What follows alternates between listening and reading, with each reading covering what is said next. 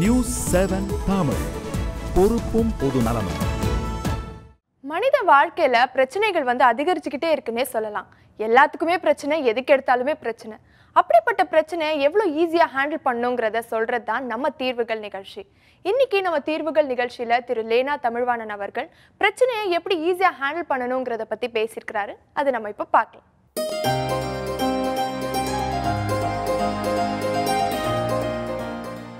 என் அருமை news seven Tamil தொலைக்காட்சியினுடைய நேர்களே உங்களுக்கு மீண்டும் என் வணக்கம். தீர்வுகள் தெரிகிற திசையை நோக்கி நாம் பயணித்து கொண்டிருக்கிறோம். இருளின் நடுவே ஒளியை தேடுகின்ற இந்த அருமையான முயற்சி உங்கள் மூலமாக என்னை வழிநடத்தி கொண்டிருக்கிறது என்று சொன்னால் அதில் எந்த விதமான மிகையும் இல்லை.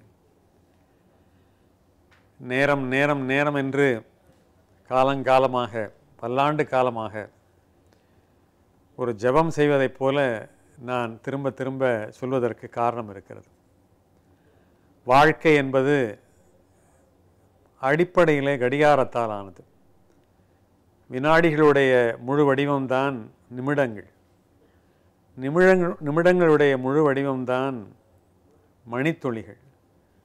மணித்துளிகளுடைய முழு வடிவம்தான் நாள்கள். நாள்கள் வாரங்களாக வாரங்கள் வருடங்களாக வருடங்கள் தான் வாழ்க்கையாக ஆகிறது. எனவே வாழ்க்கை என்பது நேரத்தால் தான் ஆக்கப்பட்டது. அந்த நேரத்தை நாம் எப்படி பயன்படுத்திக் கொள்கிறோம் என்பதை பொறுத்து நாம் முன்னேறுகிறோம் வளர்கிறோம். அதை பயன்படுத்த முடியாத பொழுது அதை பயன்படுத்த தயங்குகிற பொழுது அதை பயன்படுத்த யோசிக்கிற பொழுது அல்ல அதை பயன்படுத்த தெரியாத பொழுது நாம் தேங்கி போகிறோம். நேரத்தை விழுங்குகிற விஷயங்கள் என்று பல இருக்கின்றன. அதில் முக்கியமானது வேடிக்கையாக சொல்வதென்றால் ஞாபக மருதியைப் போல நேரத்தை விழுங்குகிற விஷயம் வேறு இல்லை. மேலை நாடுகளிலே ஒரு கதை அந்த கதையை நீங்கள் கூட ஒருவேளை கேள்விப்பட்டிருக்கலாம்.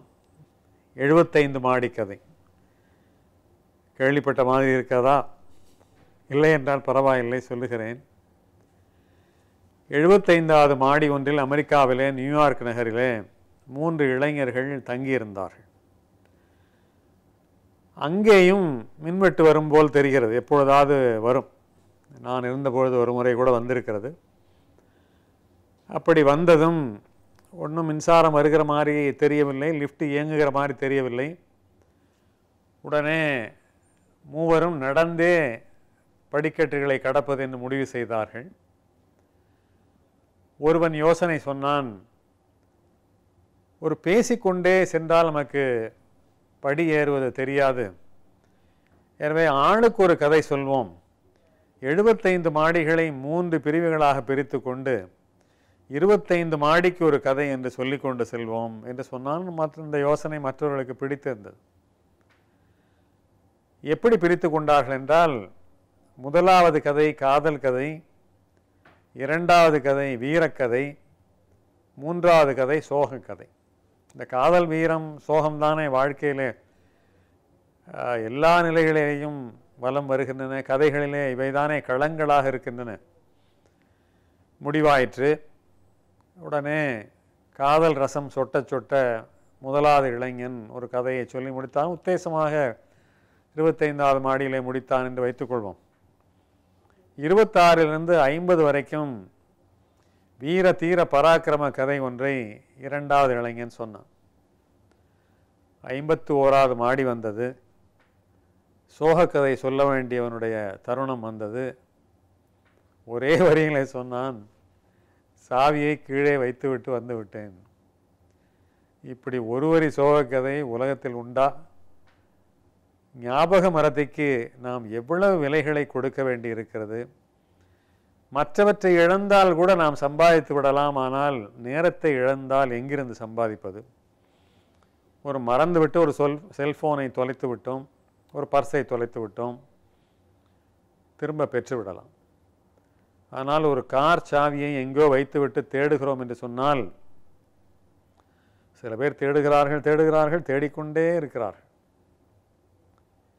ஒரு பொருளை உரிய இடத்தில் வைப்பதற்கு எவ்வளவு நேரம் ஆகும் ஒரு நிமிடம் ஆகுமா இல்லை ஒரு சில வினாடிகள் ஆகுமா ஆனால் அதை வைப்பதற்கு சோம்பேறித்தனப்பட்டு ஏதோ ஒரு இடத்துல வைத்துவிட்டு அந்த வைத்த இடம் ஞாபகம் இல்லாமல் திரும்ப திரும்ப வலம் வந்து தேடிக்கொண்டே இருப்பவருடைய நிலைமை மிகவும் இறங்கத்தக்கது ஒரு முறை எனக்கு மிக நெருக்கமான ஒரு உறவினர் அவரை பார்க்க நான் சென்றிருந்தேன். வெளியூரில் இருந்தார். அந்த ஊருக்கு நான் சென்றிருந்தேன். அவர் மனைவிதான் வரவேற்றார்கள். காத்திருங்கள். இது அலுவலகம் முடிந்து வந்து விடுவார் என்னுடைய கணவர் என்று சொன்னார்கள். காத்திருந்தேன். அலுவலகம் முடிகிற நேரம் வந்தது. அலுவலகம் முடிந்து அவர் வந்தார். என்னிடத்துல ரொம்ப பாசமானவர் ரொம்ப பிரியமானவர். என்னிடத்துல பெரும் மதிப்பும் அன்பும் அபிமானமும் கொண்டவர். வந்ததும் வாங்க வாங்க வாங்க என்று கிட்ட வந்து ஒரு ஆற தழுவி கொள்வார் கை குலுக்குவார் என்று பார்த்தால் அதை அவர் செய்யவில்லை. வாங்க வாங்க என்று சொல்லிவிட்டு நேரே உள்ளே போய்விட்டார். மிகவும் எதிர்பார்த்து எனக்கு கொஞ்சம் ஏமாற்றமாக ஆகிவிட்டது. என்ன இப்படி செய்கிறாரே என்று எனக்கு முகமே மாறி போனது. போய்விட்டு வந்து நான் எதிர்பார்த்த அந்த சடங்குகள் எல்லாம் செய்தார். வந்தார் ஆற தழுவி கொண்டார் கைகள்லாம் குலுக்கினார் எல்லாம் செய்தார். அவர் ஒரு வங்கியினுடைய ஒரு பொறுப்புமிக்க அதிகாரி. அவர்தான் அந்த வங்கியினுடைய சாவியை வைத்திருக்கிறவர். நேரே என்னை பார்க்க வந்து என் அமர் என்னோட என்னுடைய பக்கத்தில் அமர்ந்து சாவியை மேசை மீது வைத்துவிட்டு பேசி கொண்டிருந்தார் என்று சொன்னால் ஒருவேளை அதன் மீது தாள்களோ மற்ற பொருள்களோ அல்லது அன்றாட செய்தித்தாள்களோ மேலே வைக்கப்பட்டு அது அப்படியே யாரோலையாவது தூக்கி போய் எங்கேயோ போடப்பட்டு அல்லது கைமறதியாக அவர்கள் வேறே எங்கேயோ வைத்துவிட்டு அவர்களாடு போய்விட்டால் சாவியை தேட வேண்டியது. ஒரு வங்கியினுடைய சாவியை வைத்திருக்கிறவர் எவ்வளவு பொறுப்பாக நடந்து கொள்ள வேண்டும்? இந்த சாவி தொலைந்தால் என்ன ஆகுது ஒரு பத்து நிமிடம் தாமதமாக ஆனால் கூட வாடிக்கையாளர்கள் சும்மா இருப்பார்களா? எனவே அவர் நுழைந்ததும் நேரே அந்த சாவியை உரிய இடத்திலே வைத்துவிட்டு தான் என்னை பார்க்க வந்தார். இதைத்தான் ஆங்கிலத்தை சொல்வார்கள் ஒன்று சிஸ்டம் என்கிற முறை வேண்டும். இல்லை என்று சொன்னால் அதிகபட்சமான நினைவாற்றல் வேண்டும். இந்த இரண்டும் இல்லாவிட்டால் மிகப்பெரிய துன்பத்திற்கு நாம் ஆளாவோம் என்று சொல்லுகிறார்கள். நாம் அந்த காலத்து படங்களை பார்க்க நேருகிற பொழுது ஒருவேளை நீங்கள் பார்த்துருக்கக்கூடும். எங்கள் காலத்து படம் அது. மேஜர் சந்திரகாந்த் என்று ஒரு படம் வந்தது. அதில் மேஜர் சுந்தரராஜன் அவர்கள் பார்வையற்ற ஒரு மாற்றுத்திறனாளியாக வருவார். அவர் தன்னை சந்திக்க வந்த ஒரு இடத்துல மிகச்சரியாக நடந்து போய் அமர்ந்து ஏதோ மாதிரியான சில அதிசயமான விஷயங்கள் எல்லாம் செய்வார். அது என்னவென்றால் எது எங்கே இருக்க வேண்டுமோ அது அங்கே இருப்பதனால் மட்டும்தான் அது மிகச்சரியாக நடக்கிறது.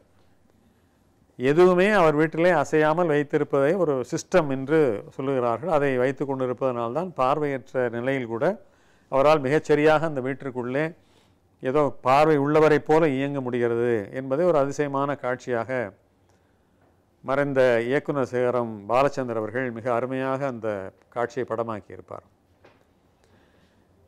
சில வீடுகளிலே இரவு நேரத்தில் மின்வெட்டு வருகிற பொழுது தீப்பெட்டியையும் மெழுகுவத்தையும் சில பேர் தேடிக்கொண்டே இருப்பார்கள்.